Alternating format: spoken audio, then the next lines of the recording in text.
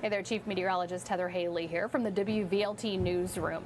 Wanted to give you an update on what's been going on. Obviously, kind of just coming off of really what was two WVLT first alert weather days the winds, then the windy rain. And we do still have winds and rain left over, uh, but really we were focused on just everyone trying to get out the door on this Tuesday morning uh, with some much needed moderate to heavy rain rolling through. Um, so the key there is yes, absolutely, we needed it, but it was really kind of coming in when a lot of folks are on the roads at the same time. So it is going to continue the next couple of hours. Uh, that's why I was suggesting maybe packing your lunch so you don't have to get back out in it today. So let's talk about the latest kind of that big picture.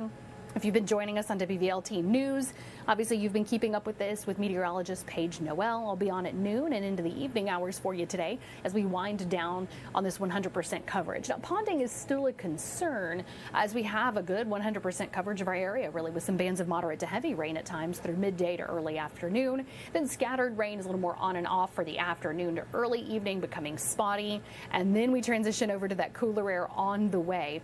And that's what will give us even a couple of mountain snow showers. We'll talk about that in a moment. In that WVLT First Alert weather app, every single hour we've been posting the latest. Actually, here in just a second, the video I just did for you for the app will, will be there readily available so you can see close looks at how much rain we've had so far. And even just in this big picture map, you can see where it's a few hundredths to a tenth of an inch in those foothills. That's where those downhill winds are drying out that leading edge of rain. But the bands of moderate to heavy rain are still spreading out across our area.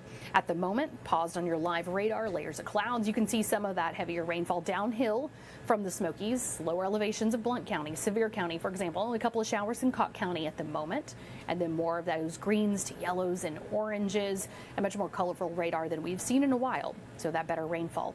Again, temperatures not really going anywhere today, just kind of hanging out in the 50s to around 60 as we do have that cooler air pressing into our area. We'll feel the effects more so tomorrow, but just keep that in mind today. It's just kind of that cool rain, rain jacket definitely coming in handy because big picture, that last band is over here towards Nashville. So you can see that back edge starting to creep closer to Cookeville, then Crossville, and then across the rest of our area. So that's why we still have several hours of some of these bands of moderate to heavy rain adding up in our area. So definitely some good news. If you want to take a close look here at that live radar, curious as to where there's some heavier rain, maybe a live in Newport, about to hit the road, driving towards Knoxville, you'd be driving right into some of that heavier rainfall. You can see it, and again, in those yellows to oranges, that's your heavier rainfall, that legend there at the top of the screen for you.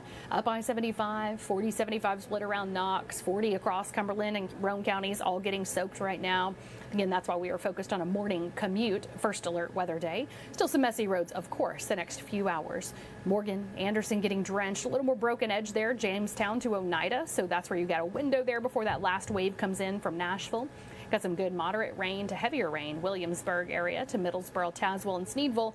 And again, there's that little opening there between Newport and Greeneville trying to close that up with this next batch. As I mentioned, those winds coming downhill are actually creating that little bit of a dry slot there in those foothills to mountains, and that's where those gusts are still up. 20 to some 40 mile per hour winds right now, plateau to foothills and mountains, and at times in far northeast Tennessee too. Again, those can dry out that rain as it rolls into our area. So let's talk more about the future gusts, because this will continue for the next few hours. So that's where those winds are really still up into the mountains to far northeast Tennessee around 1 o'clock. Notice they start decreasing on the plateau. Still some breezy conditions down in the valley, but the peak wind gusts for the valley, Knoxville area, for example, 30 miles per hour. So nowhere near as windy as our higher elevations yesterday to today, and everybody can feel those winds dropping off this afternoon to evening. So some more good news there in terms of improving conditions. But again, that's why that red flag warning continues. You get that drying out of that leading edge of rain, so we're not getting necessarily the beneficial rains in some of the mountains where there are some active wildfires, and you still have those gusts up into even 50 to 70 miles per hour the higher up you get in those mountain tops. So that elevation change really does help ramp up those winds. So important to keep that in mind as to why that red flag warning continues. So let's walk through that first alert futurecast here over the next hour. More of these bands of moderate to heavy rain. You can see that again becoming a little more on and off on the plateau, continuing to push east. Get some good heavy rainfall in parts of the valley to far northeast Tennessee still in that one to two o'clock hour. Actually, 2 o'clock hour, this is when a lot of the schools are dismissing today right before the Thanksgiving break, and you're still going to have some moderate to heavy rain in parts of Knox, it, Blount, Sevier counties, definitely Jefferson County, So at least the western half Anderson, you start seeing some improvements closer to the 3 o'clock hour, trying to push that back edge out from scattered to spotty for that late afternoon to evening commute. So on WVLT News this evening, we'll still be tracking some rain as it's exiting. Last few pockets of rain headed out, cooler air headed in. So let's jump ahead because there is a lot going on here. In addition to the rainfall we've had so far, another half an inch to three quarters of an inch trying to come through for parts of our area. So that's where we can get those isolated one plus inch rainfall potential there. Notice up mountain tops versus downhill, Pigeon Forge versus Gatlinburg versus the mountain tops. That's some of that dry slot that is because of the winds coming downhill.